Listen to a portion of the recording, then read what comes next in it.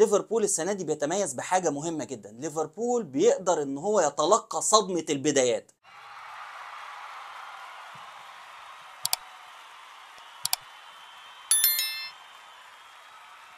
فوز كبير لليفربول ومتواصل في Premier League ليفربول بيفوز على وست هام بثلاثية مقابل هدف نظيف. عايز أتكلم عن حاجة مهمة جدا تحدث فيها يورجن كلوب بعد هذه المباراة. يورجن كلوب كان له تصريح في رأيي الشخصي بيوضح الاستراتيجية بتاعه ليفربول في هذا الموسم وليه الفريق رغم إن الناس كلها كانت متوقعة إنه ممكن ما يظهرش بيه المستوى المأمول أو المستوى المفترض من ليفربول إلا إن الفريق بيحقق الانتصار تلو الآخر. ليفربول بعد المباراة تحدث وقال إنه سعيد بالأداء الناضج. اليوم وسعيد بالمباراة والأهداف الرائعة التي سجلها فريقه. الأداء الناضج اللي بيتحدث عنه يورجن كلوب هو أعتقد كلمة السر في أداء ليفربول هذا الموسم. ناس كتير ما تحسش إن ليفربول بيمارس الضغط اللي كان بيعمله في السبع سنوات الماضية اللي كان يورجن كلوب بالتأكيد هو اللي بيدي اللاعبين التعليمات بالضغط العالي المتواصل على المنافسين. ليفربول في هذا الموسم تحس إن هو بيلعب أداء اقتصادي أداء ذو جودة في النهاية أداء بيسجل الأهداف. يمكن يكون ال press والضغط اللي بيعمله ليفربول هذا الموسم أقل من المواسم الماضية لكن ليفربول السنة دي بيتميز بحاجة مهمة جدا. ليفربول بيقدر إن هو يتلقى صدمة البدايات. من بداية الموسم ليفربول أكتر من مرة بيتأخر في النتيجة لكنه بيرجع في المباراة بيتأخر بهدف بيرجع بثلاثه بيتأخر بهدف بيطرد منه لاعب بيرجع خارج أرضه قدام فرقة كبيرة مفيش أي مشاكل. تلقي الصدمات اللي بيعمله ليفربول السنة دي في رأيي الشخصي هو اللي بيقصده يورجن كلوب بالنضج اللي بيلعب فيه فريقه هذا الموسم. النهارده مثلا في مباراة وست هام كان في صدمة في بداية المباراة. وست هام كان ضاغط على ليفربول. وست هام أضاع فرص يعني سهلة. وتألق الحارس أليسون بيكر في الزود عن مرماه بكل الطرق. بعد كده من لمسة واحدة من لعبة واحدة نجمنا الأسطوري محمد صلاح قدر يخطف ضربة جزاء بمهارته الفائقة.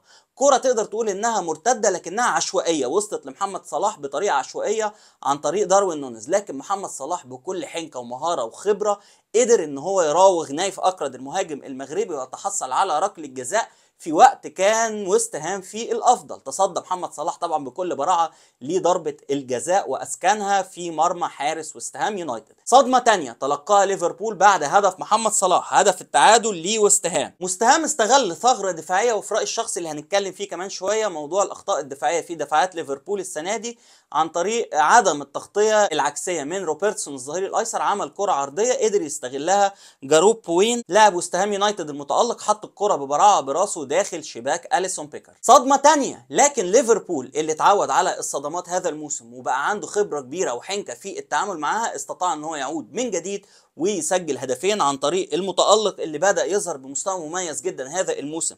داروين نونيز ودييجو جوتا المهاجم البرتغالي البديل اللي نزل خلال أحداث الشوط الثاني لو في حاجة هتعوق ليفربول السنة دي في بريمير ليج أعتقد إن الأخطاء الدفاعية وخط دفاع ليفربول اللي في رأيي الشخصي هو الخط اللي كان من المفترض إن هو يلقى الدعم الأكبر بعد ما تم دعم خط الوسط بالعديد من اللعيبة المميزين. انت تحس ان ليفربول محتاج مساك بديل للثنائي الاساسي اللي بيلعب سواء فيرجيل فان دايك أو حتى الكاميروني ماتيب وغيرهم من اللاعبين. عايز back right مفيش حد. فيه كفاءة ترينت ألكسندر أرنولد.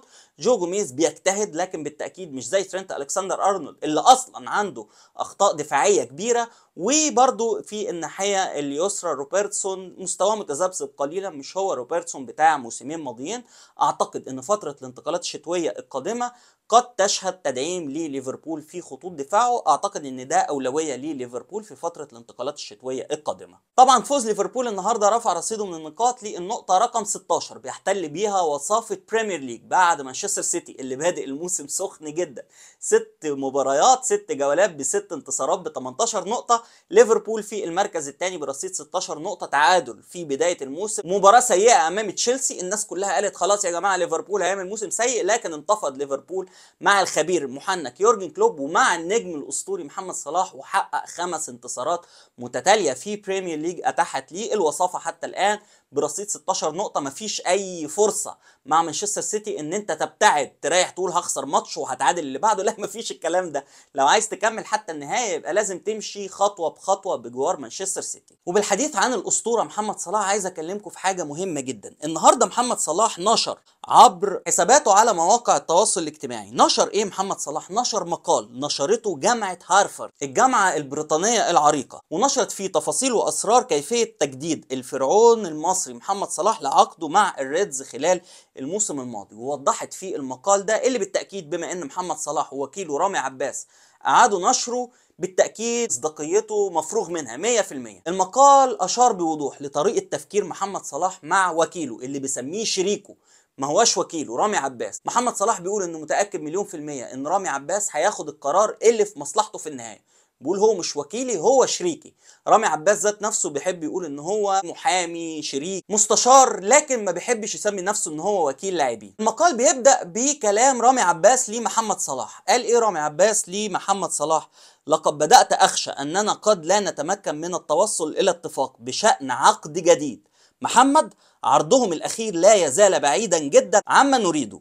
ده كان في يونيو 2022 في هذا التوقيت محمد صلاح كان أحد أفضل لاعبي كرة القدم في العالم. كان موسم ناجح جدا لليفربول توج فيه بلقب هداف الدوري بالإضافة إلى جائزة أفضل لاعب في رابطة اللاعبين المحترفين. الموسم ده ما كانش هو الموسم الوحيد الرائع لمحمد صلاح مش أمر جديد. محمد صلاح تفوق مع ليفربول في جميع مواسمه الخمسة مع النادي أصبح هداف الدوري الإنجليزي ثلاث مرات لعب دورا حاسما في فوز فريقه بلقب الدوري المحلي المنافسة الأوروبية المرموقة دوري أبطال أوروبا أصبح صلاح نجما في أوروبا وأيقونة في مصر ويمكن القول أنه أكبر نجم رياضي في العالم العربي.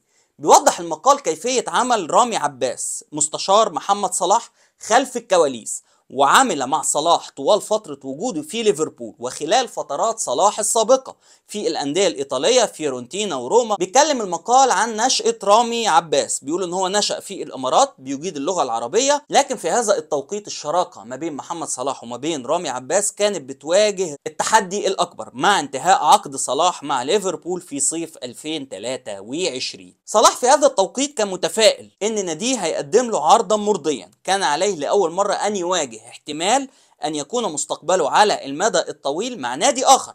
صلاح قال إنه بيريد البقاء مع ليفربول لكن النادي بيحتاج إلى إظهار إنه يريدني. أن أبقى أيضا. ما كانش صلاح ولا رامي عباس مستعدين للتخلي عن تجديد العقد بعد لكنهم كانوا بيتساءلوا عن كيفية إعادة التفاوض إلى المسار الصحيح. المقال بيطرح العديد من الأسئلة. هل كان رامي عباس وصلاح على حق في مواصلة الضغط على ليفربول من أجل التوصل إلى صفقة أفضل حتى لو كان صلاح الذي سيبلغ الثلاثين من عمره في غضون أيام قليلة أحد اللاعبين الأكبر أجرا في العالم؟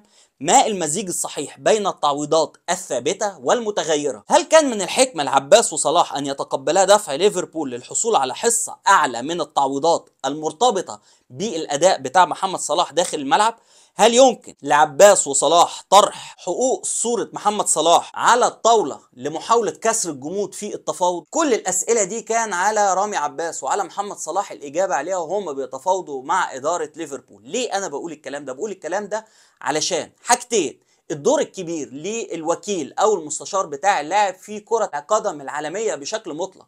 محمد صلاح سايب الأمور التفاوضية كلها بالتأكيد بيتناقش معاه لكنه متأكد إن وكيله هيعمل اللي في صالحه. مش هيعمل اللي في صالح رامي عباس الوكيل أو المستشار لا هيعمل اللي في صالح محمد صلاح. ودي ثقة كبيرة جدا ومهمة جدا للأسف أعتقد إن إحنا بنفتقدها في ملاعبنا المصرية والعربية. تاني حاجة عايز أقولها إن الوضع وموضوع التفاوض ده ما هوش سهل ابدا. المواضيع معقدة جدا في خمسين ألف حاجة بنتحدث فيها حقوق متغيرة حقوق متعلقة بالأداء. علشان كده موضوع انتقال محمد صلاح للدوري السعودي اللي كان بيناقش في فترة الانتقالات الصيفية الماضية ما هوش بالسهولة بتاعت إن محمد صلاح يرفع التليفون ويقول آه موافق أو لأ. الموضوع معقد جدا وصعب لكنه في الآخر بيبين لنا الكفاءة والمنتاليتي بتاعت محمد صلاح اللي بيكلمنا عنها دايما وللأسف بنزعل لما بيتكلم عنها.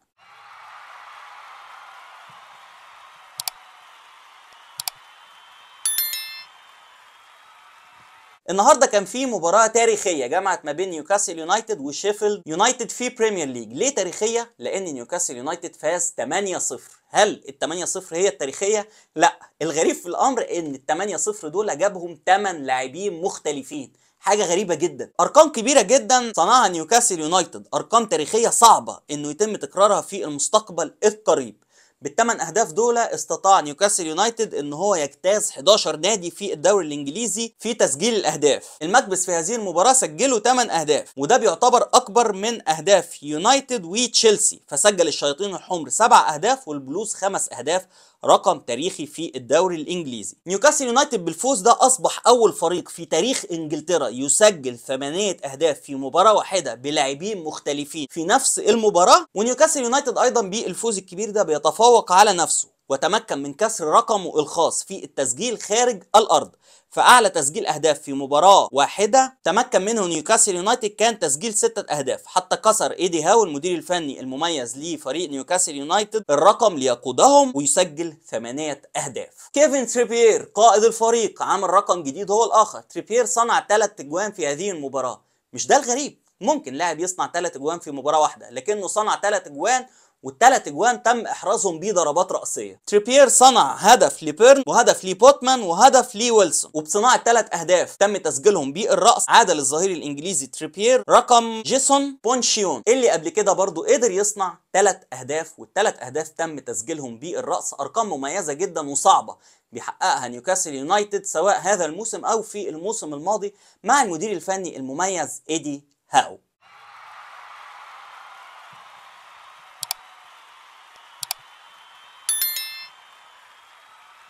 لو أول مرة تشوفني مش هوصيك. اشترك في القناه فعل الجرس اعمل لايك للفيديو. بنتابع كل أخبار الكورة لحظة بلحظة. كورة محلية كورة عربية كورة عالمية. اشوفكم على خير بإذن الله.